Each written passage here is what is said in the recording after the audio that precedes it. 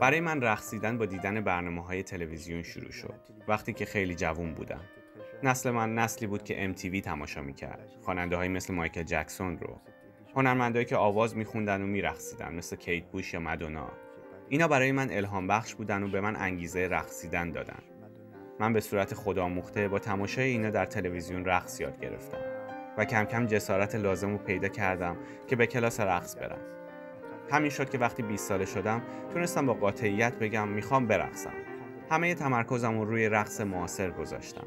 چون از دیدنش لذت می بردم و می گفتم این کاریه که برای من جذابه و می‌تونم این لذت رو به کسایی که رقص منو تماشا می‌کنن منتقل کنم. ایمان عنوان یکی از اجراهای اولیه شرکاویه. نمایشی که در بحبوحه حمله نظامی آمریکا به عراق و متأثر از همین ماجرا خلق شده. استفاده از موسیقی زنده و آوازخونی بر صحنه که در این کار وجود داره. از این به بعد ویژگی ثابت و منحصر به فرد طراحی های شرکاوی میشه. ما توی این کار از موسیقی قرون وسطایی استفاده کردیم. موسیقی آرسنوا که در قرن چهاردهم ظهور کرد. و خیلی ظریف و کم نظیره. در عین حال مربوط به دورانی تراژیک و سیاه از تاریخ بشریه. زمانی که خشونت وحشتناکی وجود داره. من متوجه شدم که از قرون وسطا تا الان چیز زیادی تغییر نکرده.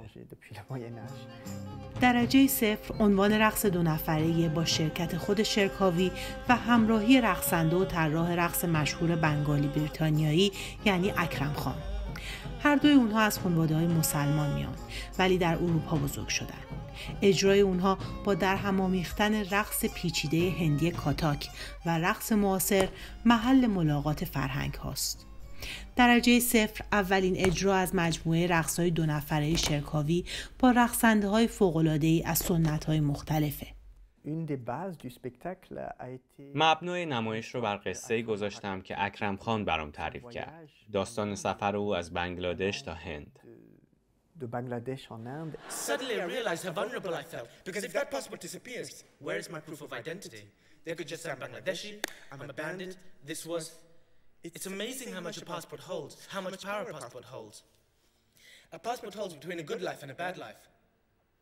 between life and death. I mean, it holds everything in just a piece of paper. And it was just incredible how much I wanted to hold on to it. My eyes were like a hawk. I studied it as it was passed like, it was like, passed from one guy's hand to another guy's hand to another guy's hands. And my passport was different because it was red. So I could study it. I could keep track of it.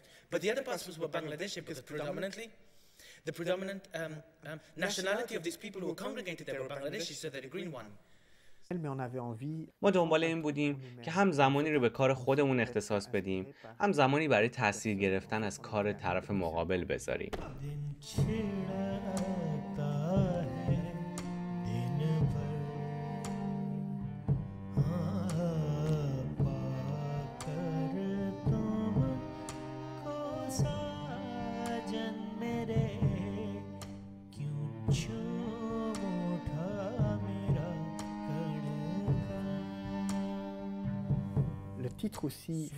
عنوان اجرا اشاره به نقطه ای داره که آب تبدیل به یخ میشه.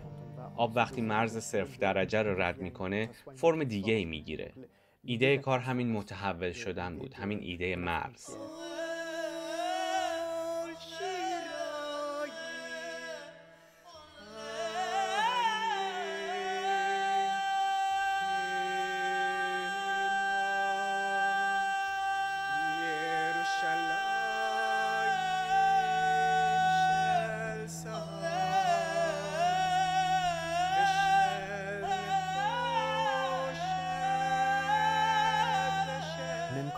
وقتی از چیزی ناشناس که از جای دیگه ای اومده الهام می‌گیریم تنها کاری که از دستمون برمیاد اینه که اون چرا که دیدیم برای خودمون ترجمه کنیم.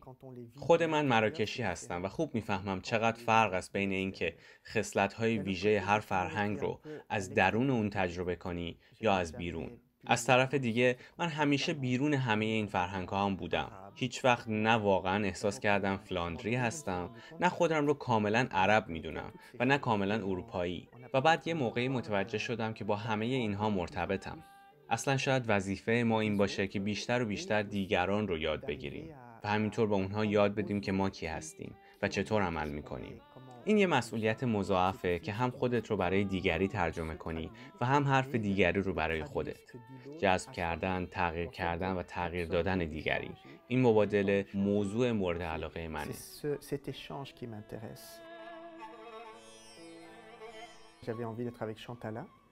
من می‌خواستم با شانتالا کار کنم. هدفم من فقط یاد گرفتن رقص کوچیپودی نبود.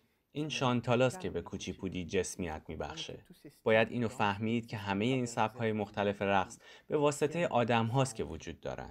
یعنی آدم ها پیاپی حرکات رو منتقل می‌کنن و زنده نگه میدارن.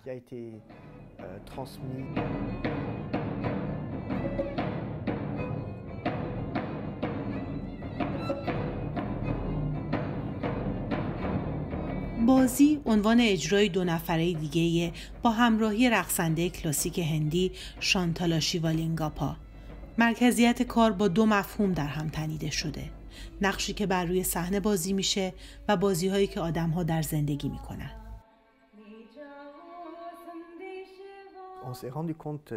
من و شانتالا متوجه شدیم که هر دو در بازی به دستامون نیاز داریم و در نتیجه دستها در کار مشترک ما اهمیت پیدا کردن.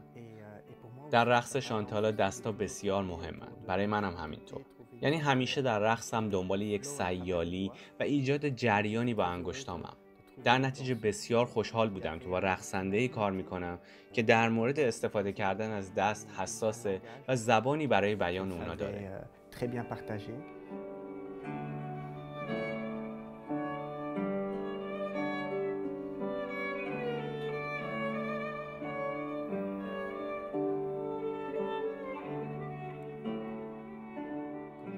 زمانی که خودم میرقصم تازه یادم میاد چه کار سختیه.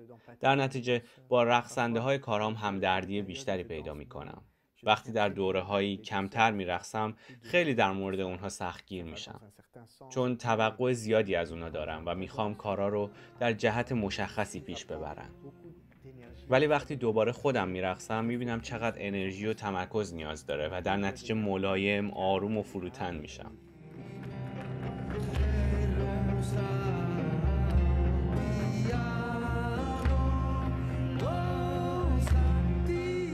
شنزار دوئت دیگه این بار به همراه رقاص برجسته و خلاق فلامنکو ماریا پاخس. شرکاوی ماریا پاخس رو رقصنده معاصری می‌دونه که از زبان رقص فلامنکو و همچنین از مفهوم زمان در کارش استفاده می‌کنه.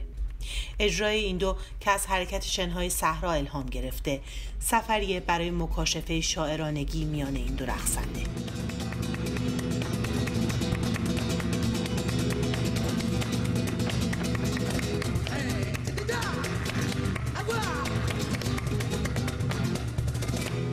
برای من مهمه که از آدمهایی که با من کار می‌کنن نام ببرم. چون باید متوجه بود که خلق هنری یه فرایند گروهیه و کاری که دو نفر با هم خلق می‌کنن هرگز به تنهایی میسر نیست.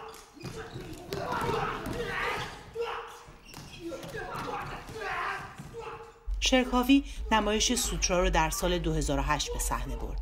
این کار رو 17 راهب رزمیکار متعلق به معبد بودایی شاولین چین اجرا می‌کنند. این اجرا پاسخ شرکاوی به این پرسشه که چطور می‌خواد در کارش از هنرهای رزمی استفاده کنه.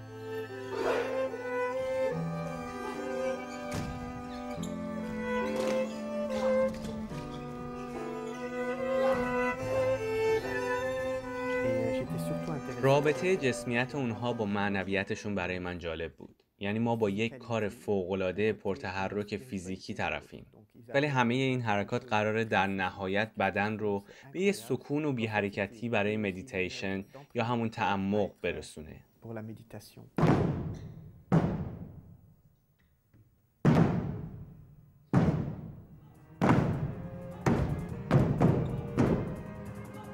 آنتونی گورملی مجسمه ساز شهیر و همکار طولانی مدت شرکاوی طراح صحنه این اثره.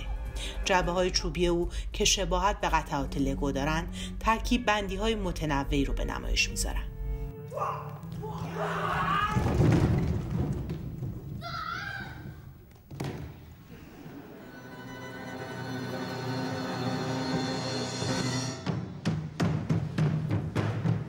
این راهب‌ها تخیل بی‌نظیری داشتن. مثلا یه جعبه رو میذاشتیم و همه داخل اون می‌رفتن و ناگهان جعبه تبدیل به یک قایق می‌شد. قایق کوچیکی که آدمهای زیادی سوار اونن و این درجا تصویر دریای مدیترانه رو تداعی می‌کرد. همه اون آدمها که سوار قایق سعی می‌کنن خودشون به اروپا برسونن یا چیزای شبیه اون. یعنی ایده های ساده و معصوم ناگهان تصاویر بسیار قوی و معاصر ایجاد می‌کردن.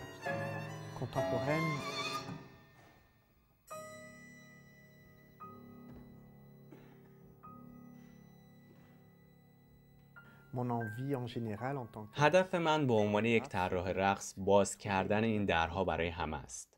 نشون دادن اینکه چقدر میشه از ورای همین حرکات و رقص دیگری رو فهمید. اینکه درست نگاه کنی اون چطور حرکت می‌کنه و با تقلید از این حرکت بتونی بهتر رو رو بفهمی. درسته که کلام برای حرف زدن وجود داره ولی زبان بدن هم شیوه متفاوتیه برای ورود به جهان و روح آدم های دیگه